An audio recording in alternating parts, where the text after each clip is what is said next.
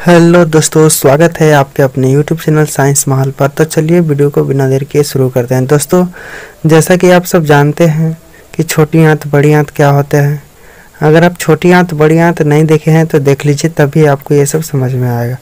तो देखिए सर, ये सब जो है ना, छोटी आँत के अंदर, यानी कि हम आसानी से कह सकते हैं कि ये छोटी आँत के अंदर उंगलियों के समान, उंगली जानते हैं, अपन उंगली देखिए, उंगलियों के समान उभरी हुई संरचना दिखाई देती है।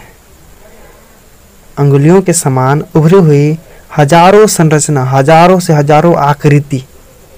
संरचना का मतलब आकार, प्रकार, उसकी आकृति। कि हज़ारों से हज़ारों छोटी आंत में आकृति जो दिखाई देती है, जिन्हें हम रसांकुर भी कहते हैं, तथा दीर्घ रोम भी कहते हैं। चलिए, वीडियो अगर पसंद आया हो तो प्लीज़ कर दीजिएगा लाइक।